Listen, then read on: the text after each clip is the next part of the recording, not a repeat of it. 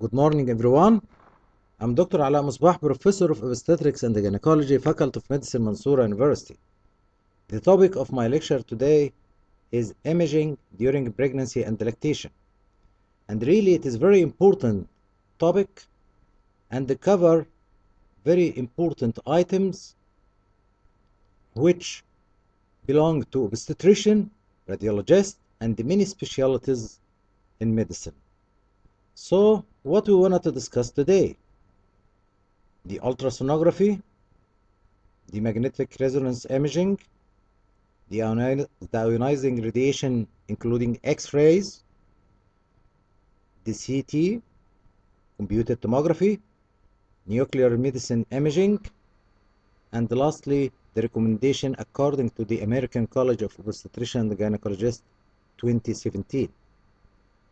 So, we wanted to concentrate today about the risk of different imaging tools and how to minimize this risk and what is indicated and what is contraindicated during pregnancy and during lactation.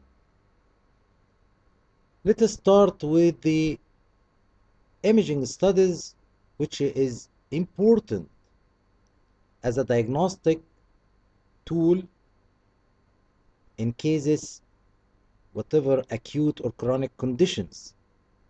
So I need this imaging tool during pregnancy, either for acute cases or for chronic cases. But what about the safety of these modalities as regard during pregnancy and during lactation?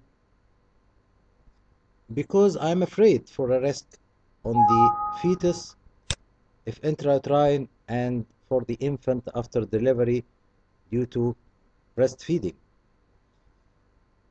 Really, the ultrasonography and the MRI are not associated with risk and are the imaging technique of choice for the pregnant patient, with the exception of, of the use of gadolinium contrast with MRI, which can be limited I can use MRI without this contrast medium because it is proved to be teratogenic in animals so it is better to avoid its use during pregnancy. So I can use MRI without this contrast medium.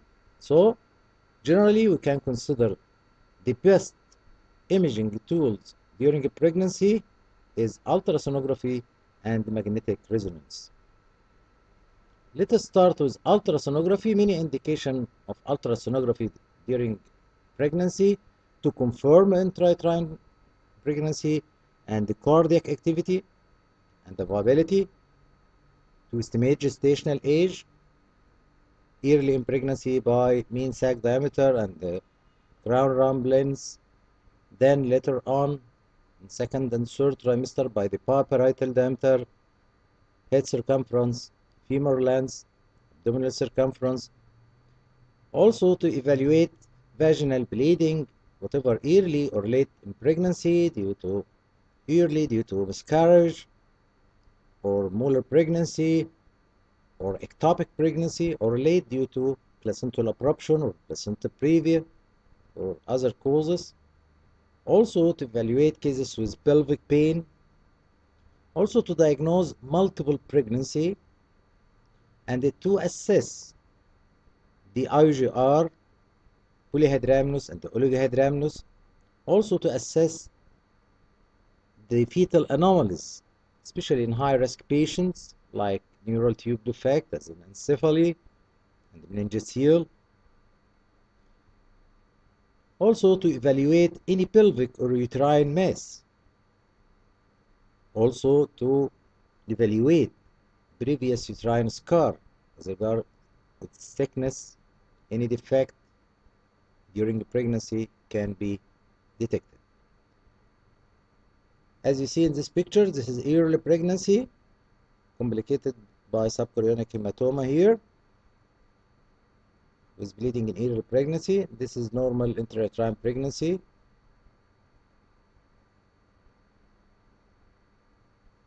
Okay, Ultrasound imaging should be performed efficiently and only when clinically indicated. to minimize the fetal exposure risk using the keeping acoustic output levels. What is this? There is something called thermal index and the mechanical index related to the machine of ultrasound. And we should follow ALARA principle. What is ALARA? As low as a reasonably achievable principle. Okay? In using any imaging modality. It was found in many studies that thermal index and the mechanical index is important, especially the thermal index. And the obstetric ultrasound machine is different than ultrasound machine used for another purposes. Why? Because they measure the thermal index and make it to the lowest that is not affecting the fetus. So there is difference between the machines used by the radiologist for different reasons and the machine used for obstetric ultrasound. Ultrasonography use sound waves and this is not a form of ionizing radiation.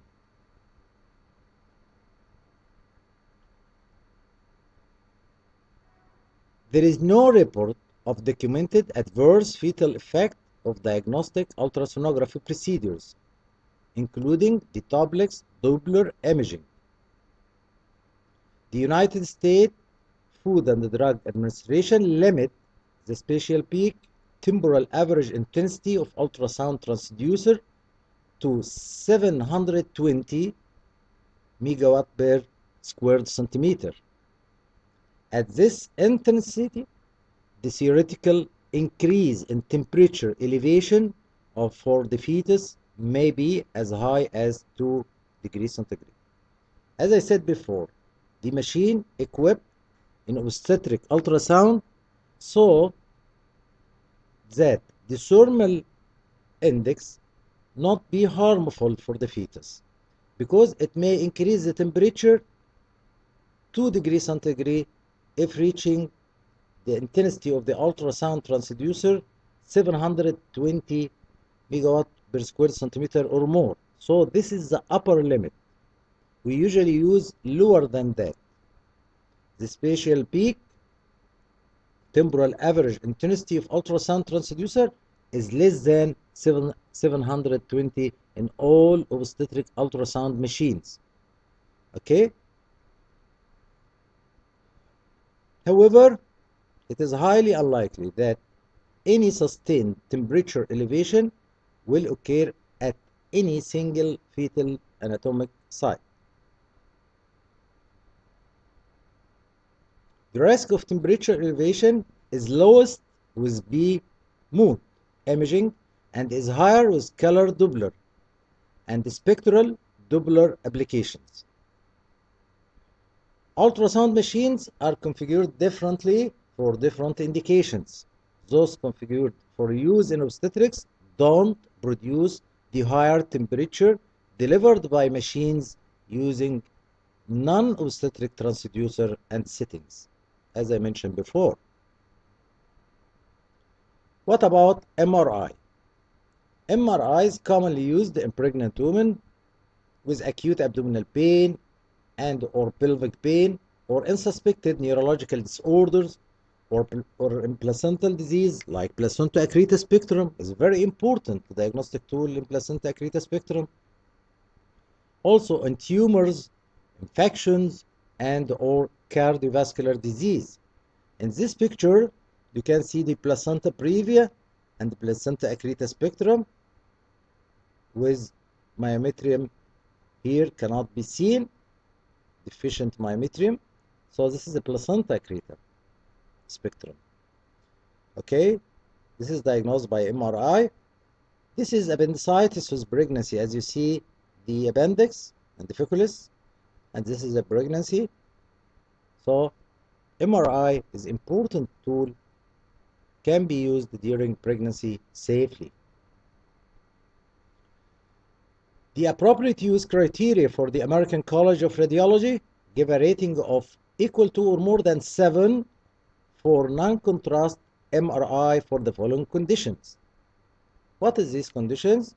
Acute non-localized pain in the right upper quadrant or right lower quadrant, in concurrent fever and leukocytosis. Also an acute pelvic pain when a non-gynecological cause is suspected. Also in suspected biliary disease such as jaundice or suspected pancreatic disease or new onset severe headache or newly diagnosed cancer. So this is many indications for MRI which can be done during pregnancy.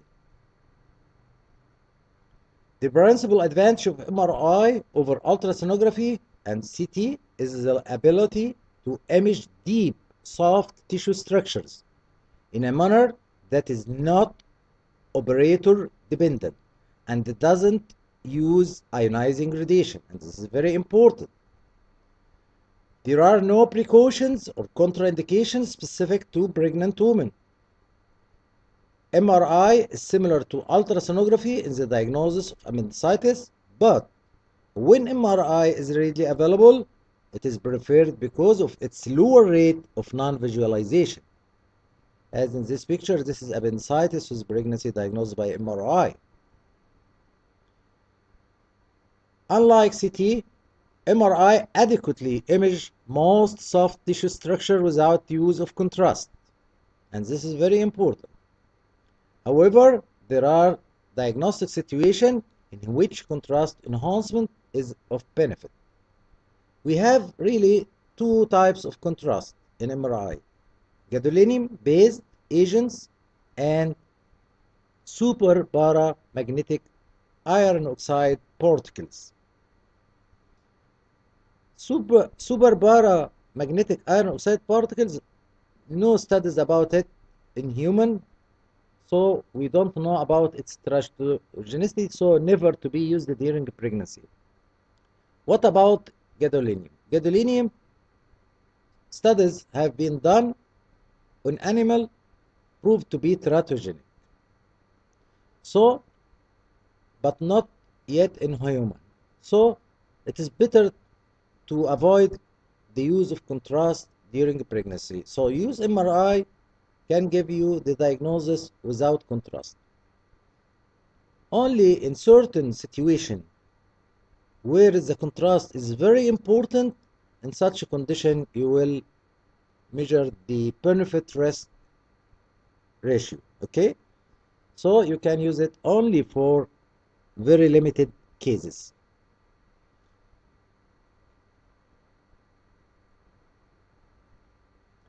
Look to this picture, please. It's very interesting pictures with MRI. This is bilateral interstitial tubal ectopic pregnancy diagnosed by ultrasound here and the, the same by MRI here. As you see by MRI, is clear. Bilateral ectopic pregnancy, interstitial. This one is appendicitis pregnancy diagnosed by MRI. This one is placenta previa and accreta spectrum diagnosed by MRI in this picture as you see here. No myometrium can be seen in this area. Gadolinium is water soluble and can cross the placenta into the fetal circulation and amniotic fluid.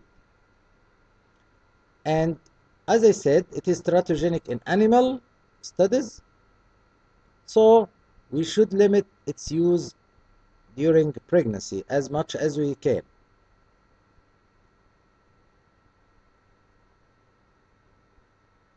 The water solubility of gadolinium agents limit their excretion into breast milk. Less than 0.04% of an intravascular dose of gadolinium contrast is excreted into breast milk within the first 24 hours. So this is a very negligible, negligible amount secreted in milk. And you sh should notice also that less than 1% of this minimal dose absorbs through the GIT of the, of the fetus. That's why there is no report about harm from the breastfeeding because it is very very minimal amount reach the fetus the baby sorry so in breastfeeding you shouldn't stop breastfeeding even if you used MRI with gadolinium contrast medium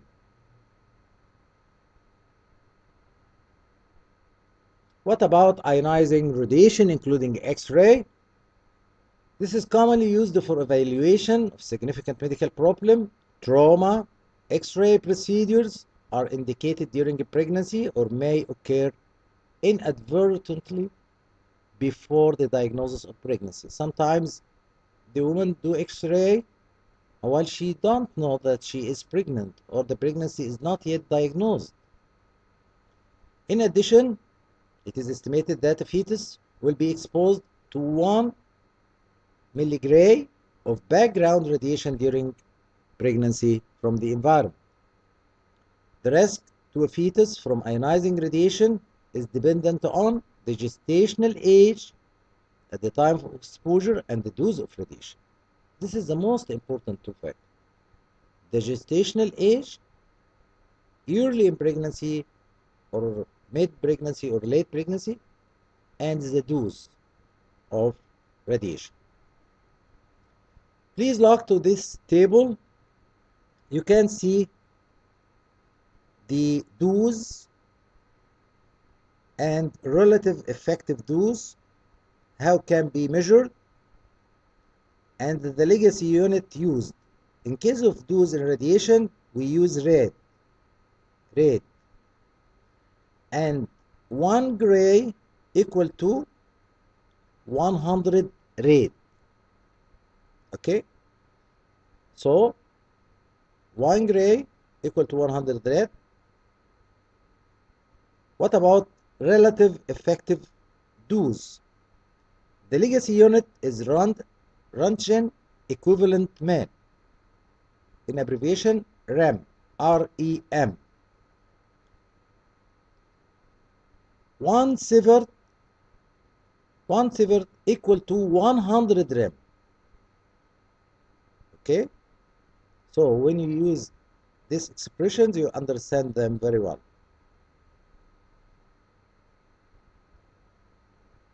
So what about the dose of radiation and gestational age? We said this is the most important factors affecting the result of exposure to radiation.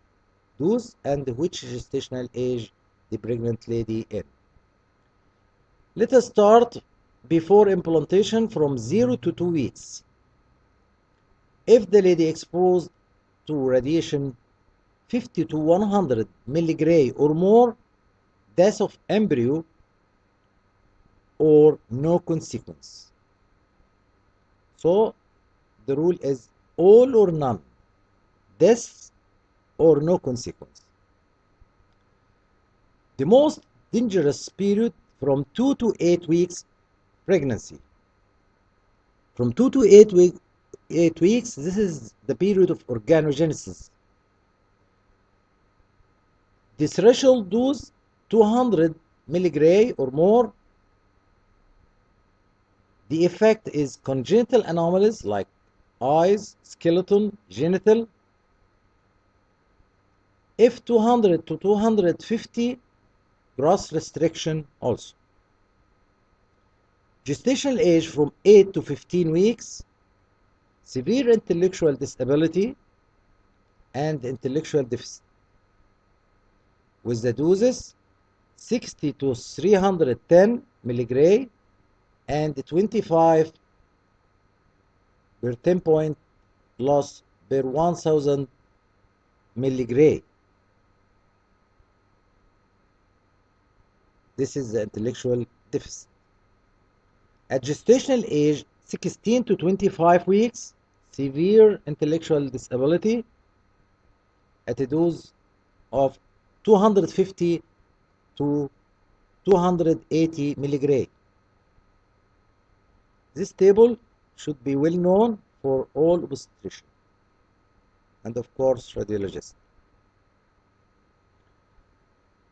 This table show you common radiologic examination and the fetal radiologic dose. This is the amount of dose expected with these imaging modalities. We divide them into very low dose examination, which is below 0.1 milligray, low to moderate dose examination from 0.1 up to 10 milligray, higher dose examination from 10 to 50 milligray.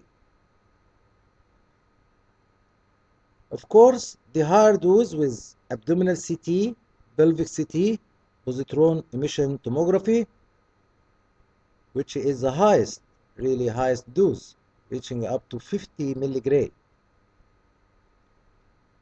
The critical amount is 50 milligray at which and above affect the fetus seriously, especially in early pregnancy.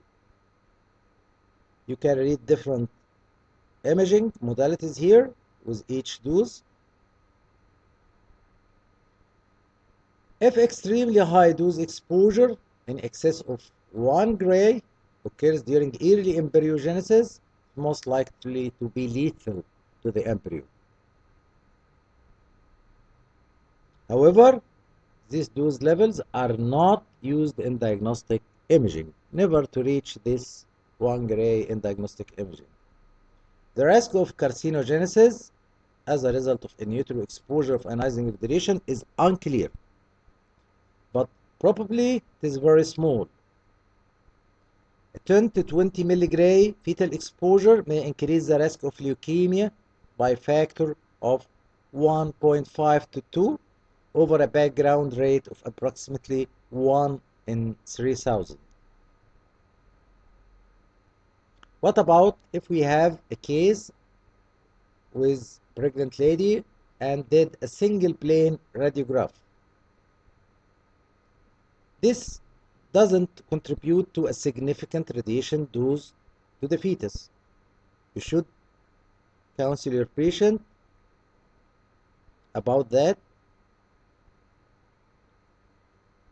The estimated radiation dose to the fetus varies and ranges from 0.001 milligray to 10 milligray.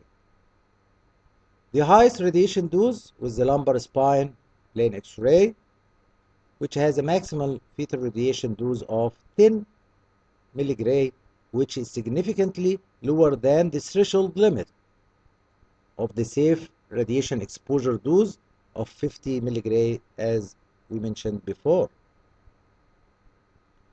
X-ray beams that project in the posterior to anterior direction contribute to less radiation than the beam projected in anterior to posterior direction. Why? Because in posterior anterior projection, the X-ray gets attenuated before reaching anterior located uterus. All of us know that the pregnant uterus becomes superior and anterior to the pelvis. Okay? Okay. When you ask me which is better to do posterior anterior plane X-ray or anteroposterior X-ray, I'll say posterior anterior is better. Why? Because in posterior anterior there is attenuation of the beam before reaching the uterus which is located anterior. But if you did it anteroposterior, you expose the pregnancy to more radiation. So just changing the direction from anteroposterior to be posterior anterior is beneficial to the pregnant lady and the less the exposure to radiation. Okay?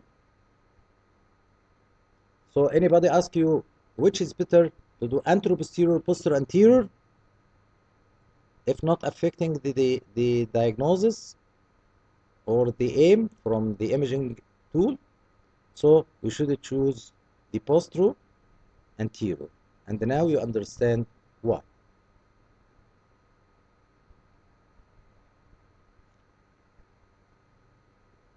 pregnancy termination shouldn't be recommended solely on the basis of exposure to diagnostic radiation because this is a mistake with many obstetricians. They decide to do termination because the lady exposed to plain X-ray film, for example. This is not right. You shouldn't recommend termination of pregnancy for just a plain X-ray or something like that. Okay? As I said before, the dose is not dangerous and not reaching the threshold that harm the fetus. Should a pregnant woman undergo multiple imaging studies using ionizing radiation, it is prudent to consult with radiation physician to calculate the total dose received by the fetus. So, for any imaging modalities with ionizing radiation, I should calculate the total dose reaching the fetus if I did this investigation. Okay? And then see from the table is it dangerous? Is it reaching the threshold to be harmful to the fetus or not? Then measure the risk benefit ratio.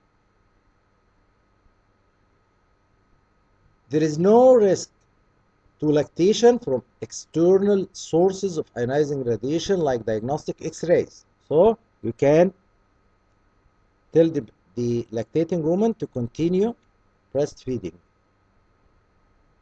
What about CT? Compu computerized tomography is a specific use of ionizing radiation that plays an important diagnostic role in pregnancy and its use increased by 25% per year from 1997 to 20, 2006. Okay? So, market increase in its use by 25% from 1997 till 2006. Use of CT and associated contrast material shouldn't be withheld if clinically indicated. But a thorough discussion of risks and the benefits should take place. You should counsel the patient and tell her about the risk because, yes, CT is not safe like MRI. MRI is safe, ultrasound is safe, but CT exposes the fetus to radiation with high dose maybe reaching the threshold. Maybe. Okay? Of course there are many techniques to reduce the amount of radiation reaching the baby and you should use it. And to make the radiation below the threshold of harm. In the evaluation for acute processes such as appendicitis or small bowel obstruction, the maternal benefit from early and accurate diagnosis may outweigh the theoretical fetal risks. If, access if accessible in timely manner, MRI should be considered as a safer alternative to CT imaging during pregnancy in, ca in cases which they are equivalent for diagnosis. So, if both imaging tool equivalent in diagnosis, MRI and CT, of course I'll choose MRI because it is safe. Radiation exposure from CT procedures varies depending on the number and the spacing of adjacent image sections. Let us see the again the table again. This is the CT considered in the low to moderate dose examination as you see here. You can calculate the dose per milligray and see if these sections calculate the total amount of radiation, how many sections you taken, and the total amount reaching the threshold of 50 milligray or not. This is the idea. Of course, also CT considered also in high dose examination in abdominal one and the pelvic one and in positron emission tomography with T. Okay?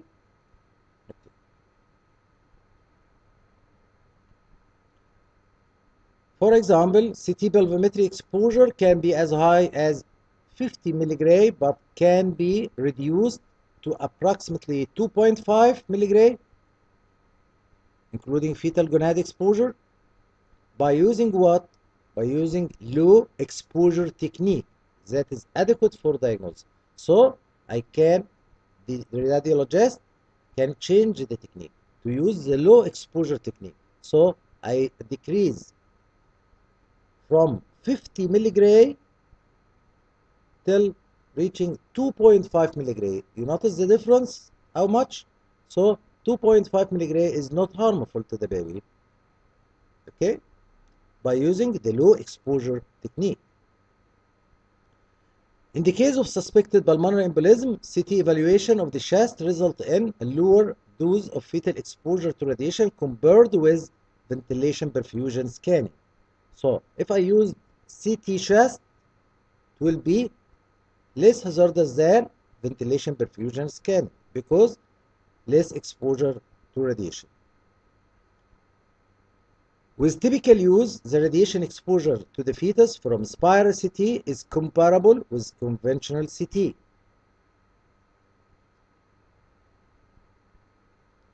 Oral contrast, what about it in CT? Are not absorbed by the patient and don't cause real or theoretical harm. The use of intravenous contrast, contrast media aids in CT diagnosis by providing for enhancement of soft tissue and vascular structures. The contrast most commonly used for CT is iodinated media, which carry a low risk of adverse effect, like nausea, vomiting, flushing, pain at the injection site, and also can cause anaphylactoid reactions, which is risky. Although iodinated contrast media can cross the placenta and either enter the fetal circulation or pass directly into the amniotic fluid, animal studies have reported no teratogenic or mutagenic effect from its use. Okay? Theoretical concerns about the potential adverse effect of free iodide on the fetal thyroid gland have not been borne out in human studies, not proved. The effect of iodide on the fetal thyroid of the contrast media. Despite this lack of known harm, it generally is recommended that contrast only be used if absolutely required to obtain additional diagnostic information that will affect the care of the fetus or woman during pregnancy. So try to use CT if needed, highly indicated, but without using contrast for also risk of iodide. Although the animal studies proved no risk, but we're afraid from the iodide to be absorbed and affecting the thyroid gland of the fetus. Okay, so try to use CT scan without the contrast media if not affecting the diagnosis. What about lactation with using CT? Traditionally lactating women who receive intravascular iodinated contrast have been advised to discontinue breastfeeding for 24 hours. This is used for many years. The advice for, for lactating women to stop lactation for 24 hours after she did CT scan with contrast media because it is iodinated because they are afraid from its uh, secretion in breast milk. But really, this is not right. And the lady should continue breastfeeding, not stop for 24 hours. Why? This iodinated contrast is water soluble, and less than 1% of this iodinated contrast excreted into breast milk. So it is very minimal amount. And also less than 1% absorbed in the gastrointestinal tract of the baby. Therefore, breastfeeding should be continued without interruption after using this contrast medium. Let us go to another imaging modalities which is nuclear medicine imaging. Nuclear studies as pulmonary ventilation perfusion, thyroid, bone and renal scans are performed by tagging a chemical agent with radioisotope. As you see in this picture, this is pulmonary ventilation perfusion and you can notice the difference between the normal and the mild, the moderate, the severe effect of pulmonary ventilation perfusion as in pulmonary embolism and pneumonia okay? You can see the difference. You can see here the ventilation and here is the perfusion. This is the normal and this is the mild affection.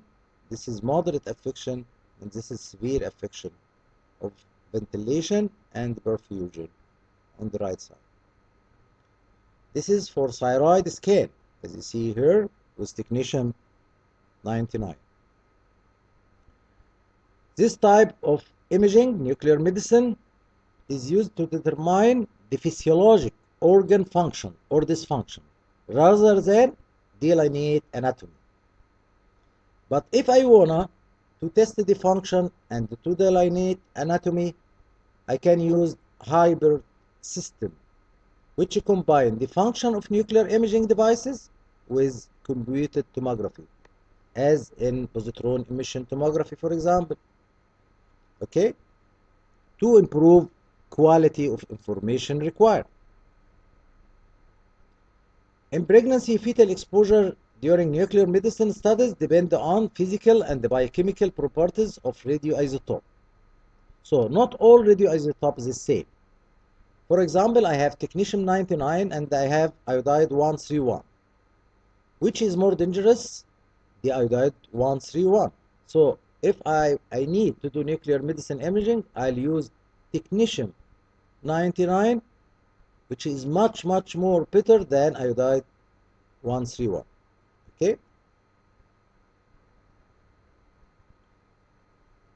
So technetium 99 is one of the most commonly used isotopes and is used for brain bone renal and cardiovascular scans.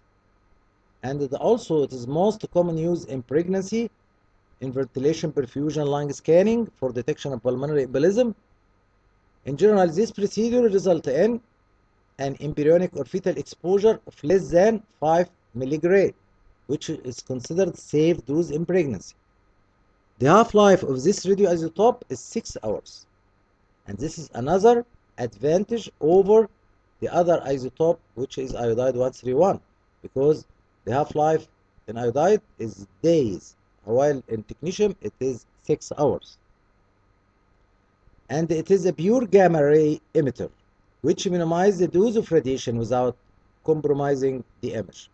All these facts support the safety of technetium 99 at 5 milligray when indicated during pregnancy this is thyroid scan with technetium 99 in this picture. Radioactive iodine, iodine 131, readily across the placenta, has a half-life 8 days and can adversely affect the fetal thyroid.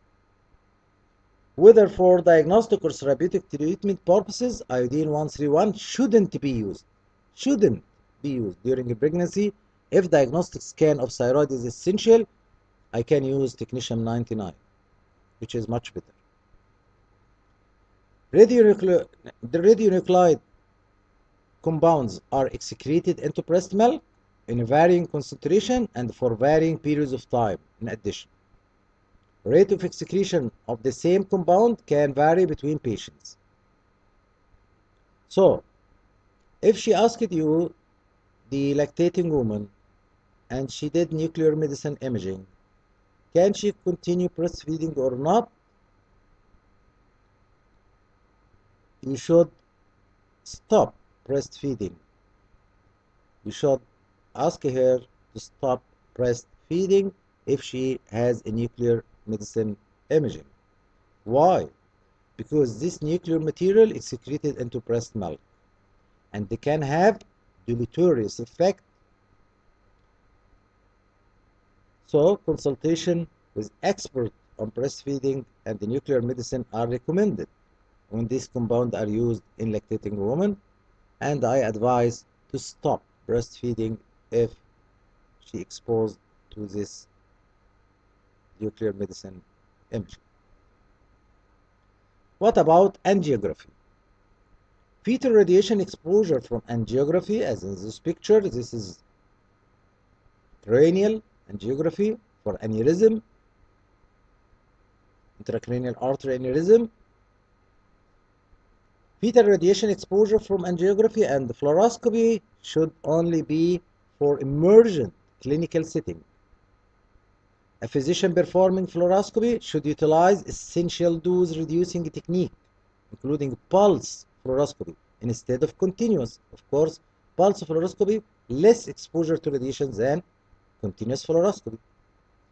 Last image hold rather than full exposure.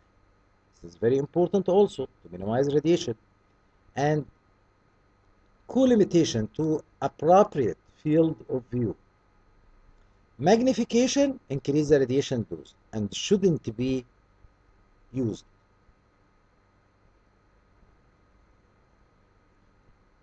What about positioning? Appropriate positioning is important. Yes, it is important. Why? Because if technologists optimally position patient before imaging, you will obtain appropriate view for exam.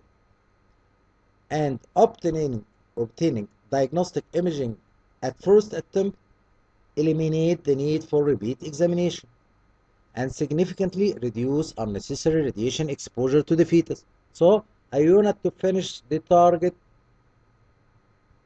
at a first attempt.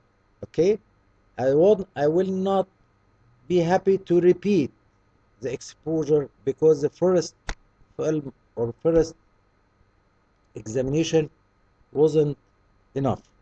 So proper position of the patient by a technologist is very important in pregnant lady. So I, I wanna to be one shot, not repeated for no more exposure to radiation. What about shielding? Fetal and gonadal shielding. Is it important? Really, there is belief for many doctors, obstetrician, radiologists that we should use shield for many years. But recently, we found that in many studies that shielding is not important and is no longer necessary. You will be surprised from this, but not to be surprised because we, all studies recently done found that use of shield may be more risky. Why? Because there is certain site on the body not exposed to the examiner during radiation. So you wanted to repeat again. With repeating the exam to the again, exposing the patient to more radiation. So the total amount of radiation exposure is larger. It was found that patient, pregnant patient without shielding, the radiation, the amount of total radiation exposure is less than that who are using shielding because many women are not in optimal position or the area to be examined not fully covered in one set exam. So we repeat the examination with more exposure to radiation. So generally nowadays and the guideline advise not to use shield and use only ALARA principle what is ALARA principle ALARA as low as reasonably achievable. This means doctor use the lowest amount of radiation necessary to make quality image. And the patient should be confident that hospital and the imaging center use this ALARA principle. Okay? This is my target. To expose the patient to the minimal amount of radiation. This is my target. And you should know that with recent modalities of imaging machines, there is less exposure than the past 70 years. You can imagine the decrease in radiation exposure reaching up to 96% with the recent machines used for imaging.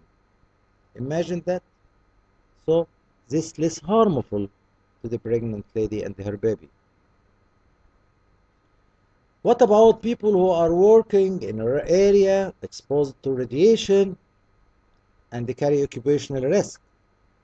Occupational radiation exposure should be monitored to make sure that total amount of radiation exposure is under the regulatory limit. According to the National Council of Radiation Protection and Measurement, the total dose equivalent to the embryo or fetus shouldn't exceed 500 millirem during the length of the pregnancy.